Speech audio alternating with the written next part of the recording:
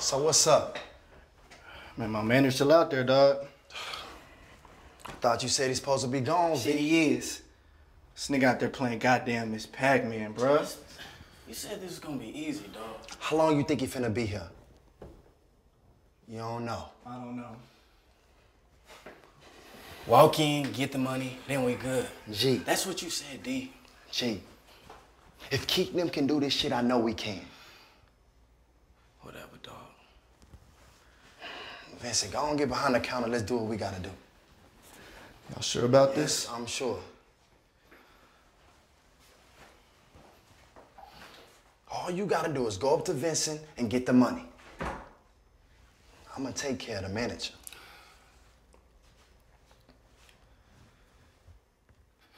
You in or you out? I went from just watching at home to having a badge of my own. This is my dad, and he's a firefighter, and a doctor, and a teacher, and a football player. To most people, my dad is just a firefighter, but to me and my little brother, he's our everything.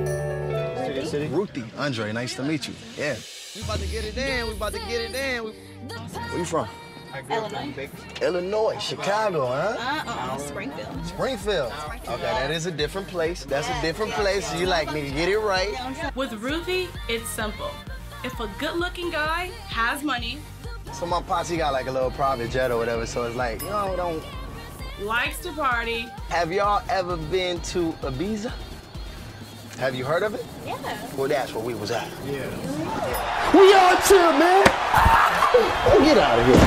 Hey, put them nuts in his face.